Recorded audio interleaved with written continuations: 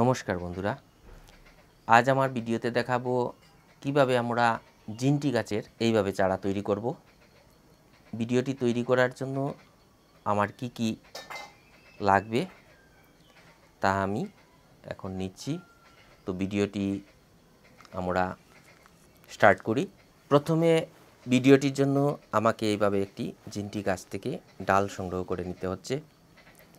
তো ডালটি আমি এভাবে ছেটে দিচ্ছি। বাড়তি পাতাগুলো এভাবে আমি ছেটে দিব।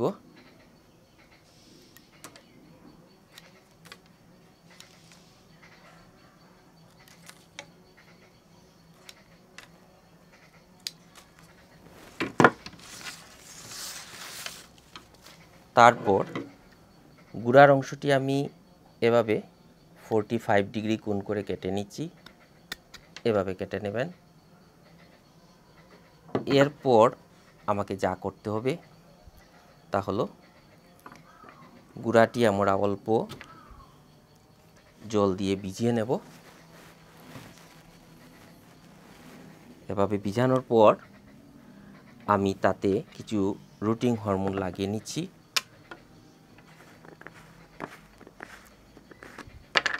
অল্প রুটিন হরমোন আমরা লাগিয়ে নিব যাতে খুব দ্রুত তার রুট বা শিকড় বের হতে সম্ভব হয়। এই রুটিং হরমোনটা আপনারা যে কোনো অনলাইন থেকে সংগ্রহ করতে পারবেন বা বাজারেও পেয়ে যাবেন। তা পঞ্চাশ থেকে ষাট টাকা নেবে। তো এটা আপনারা যে কোনো জায়গা থেকে সংগ্রহ করতে পারবেন। এখন আমাকে নিতে হচ্ছে এভাবে একটি প্লাস্টিকের গ্লাস। তাতে আমি আগেই এরকম কিছু ছিদ্র করে রেখেছি যাতে মাটিগুলি থেকে অতিরিক্ত জল আটকা না পড়ে। তার জন্য আমি এভাবে ছিদ্র করেছি। আপনারা যে কোনোভাবেই এই ছিদ্র করে নিতে পারেন। তারপর আমি এখন কিছু মাটি ও কিছু গোবর একত্রে মিশিয়ে নিচ্ছি। অর্ধেকটা গোবর এবং অর্ধেকটা মাটি হলেও চলবে, এক্ষেত্রে গোবর একটু বেশি হলে কিছু হবে না। তো গোবর এবং মাটি আমি এভাবে মিশিয়ে নিচ্ছি।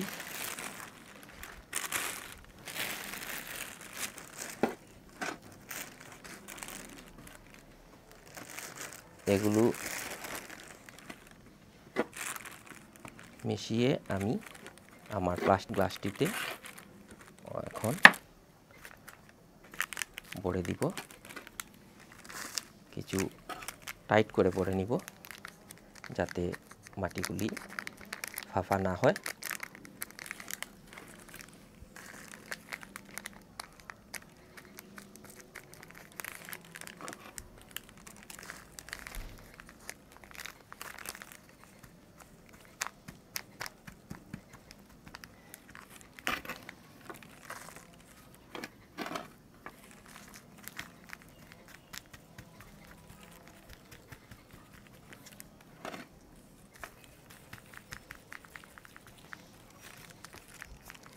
এভাবে ভরে নেওয়ার পর পাত্রটিকে এখন পাত্রটির মাটি অল্প এভাবে ছিদ্র করে নিব,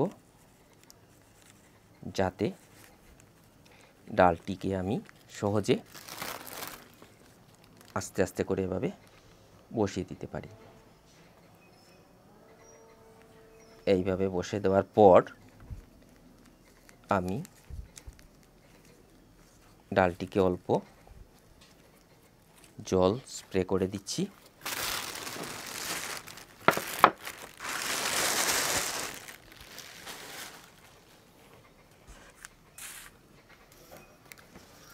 অল্প জল স্প্রে করে আপনারা দিয়ে দেবেন। বেশি দিতে হবে না, অল্প অল্প জল দিলেই হবে। মধ্যে মধ্যে লক্ষ্য রাখতে হবে, মাটিটা শুকিয়ে গেলে আবার এভাবে জল দিয়ে দিলে হবে। এখন আমি ডালটিকে একটা পলি ব্যাগ দিয়ে এভাবে রেখে দেব, যাতে গাছটির অতিরিক্ত বাষ্পমোচন না ঘটে। তো এই অবস্থায় আমি গাছটিকে প্রায় পঁয়তাল্লিশ দিন ছায়ায় রেখে দিচ্ছি। তারপর